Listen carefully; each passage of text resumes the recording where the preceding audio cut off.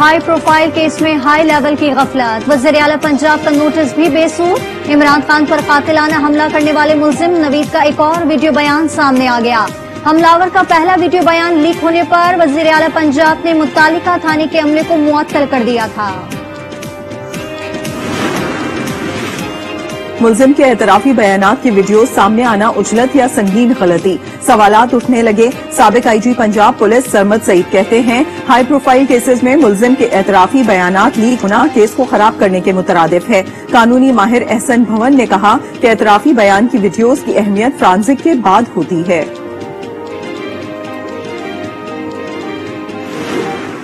अगर थाने में उससे पूछगिछ की गई है, और तो वो रिकॉर्ड अगर की गई है तो ठीक है।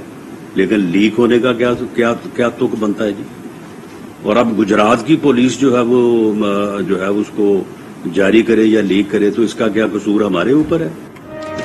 इमरान खान पर फायरिंग करने वाले मुलजिम की वीडियो वायरल होना खतरनाक हो सकता है। मुलजिम की वीडियो लीक या जारी करने की ज़िम्मेदारी पंजाब हुकूमत की है। वज़ीर दाखिला राना सना ने वाजे कर दिया। कहा, गुजरात पुलिस के सामने बयान रिकॉर्ड करके लीक करने का इल्ज़ाम भी हम पर डाला जा रहा है। समझ नहीं आ रहा, वीडियो जारी कराई गई या हुई। उम्मीद है इमरान खान मामले को हवा में नहीं उड़ाएँगे।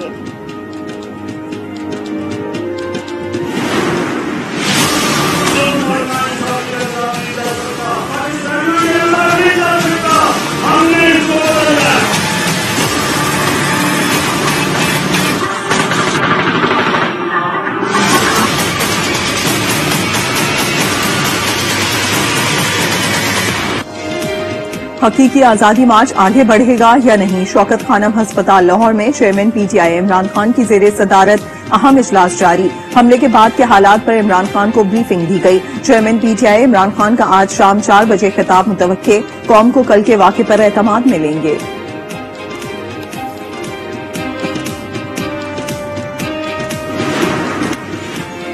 इमरान खान पर हमले का वाकया इंतहाई तशवीशनाक और काबिल मजम्मत है।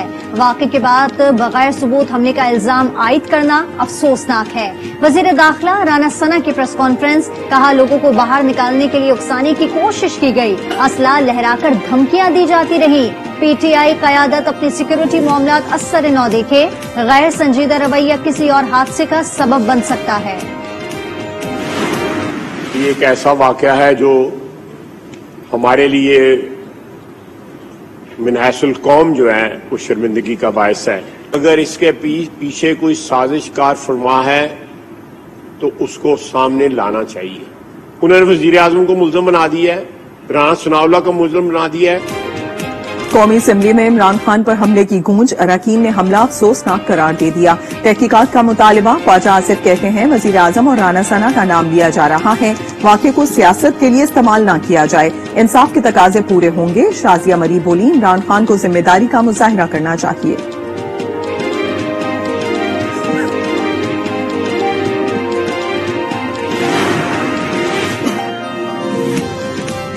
कातिलाना हमले में जख्मी चेयरमैन तहरीक इंसाफ इमरान खान की शौकत, खानम अस्पताल में सर्जरी मुकम्मल। डॉक्टर्स के मुताबिक इमरान खान की तबीयत बेहतर है। मेडिकल बोर्ड तिब्बी मुआयने के बाद डिस्चार्ज करने का फैसला करेगा। इमरान खान की अयादत के लिए सियासी शख्सियात की शौकत, खानम अस्पताल आमद। वज़ीर अला पंजाब चौधरी परवेज इलाही, शाह महमूद कुरैशी, आज़म सवाती और मुराद रास ने अयादत की। कारकुनों की बड़ी तादाद शौकत, खानम अस्पताल के बाहर मौजूद। चेयरमैन तहरीक इंसाफ इमरान खान पर हमले की तफ्तीश है सीटीडी के सुपुर्द गिरफ़्तार मुलजिम नवीद को सीटीडी सेल मुंतकिल कर दिया गया। पुलिस और हसास इदारों ने वजीराबाद में जाए वकुआ से शवाहिद इकट्ठे कर लिए।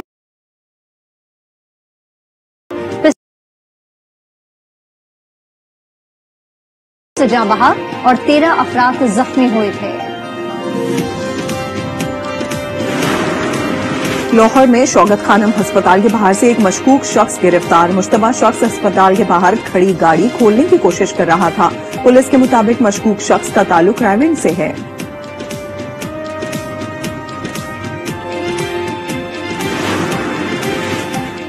इमरान खान पर कातिलाना हमले के खिलाफ मुल्क भर में मुजाहरे, खैबर और जहलुम लाड़काना शदादकोट, उमरकोट समेत दीगर मकाम पर एहतजाज। इमरान खान के हक में नारे कोयटा में हड़ताल रावलपिंडी और दीगर शहरों में भी कारकुनान सड़कों पर आ गए।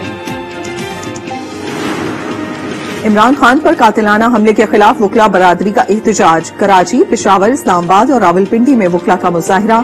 इमरान खान से इजहार एकजहती वाकई की शफाफ तहकीकात का मुतालबा। इमरान खान को कुछ हो जाता तो पाकिस्तान ही नहीं खत्ते की सियासत भी बदल जाती। शेख रशीद ने खबरदार कर दिया। कहा इमरान खान पर कातिलाना हमला, गैर मुल्की और मुकामी साजिश है। हमला करने वाले एक से ज़्यादा थे। एक मुलजिम से फौरी बयान दिलवाना और बाकियों को फरार कराना सवालिया निशान है। इमरान खान पर कातिलाना हमले के खिलाफ मजम्मती करारदाद, पंजाब असम्बली में जमा, करारदाद पीटीआई रुकन से माविया ताहिर ने जमा कराई। इमरान खान पर कातिलाना हमले की मजम्मत। सियासी जमातों को पुरान रहनुमा चाहिए। सियासत में तशद की कोई जगह नहीं। अमरीकी वज़ीर खारजा के चेयरमैन पीटीआई पर हमले की मजम्मत। कैनेडा, बरतानिया समेत आलमी बरदरी के हमले की शदीद मजम्मत। मकतूल सहाफी अरशद शरीफ के पोस्टमार्टम रिपोर्ट फराहम न करने के खिलाफ इस्लामाबाद हाईकोर्ट में दरखास्त दायर। अरशद शरीफ की वालदा ने दरखास्त में मौकफ अपनाया कि मुश्किल वक्त में रिपोर्ट के लिए तस्लील की जा रही है। खदशा ज़ाहिर किया कि हकाइक मस्त करने के लिए पोस्टमार्टम रिपोर्ट में रद्दबदल किया जा सकता है।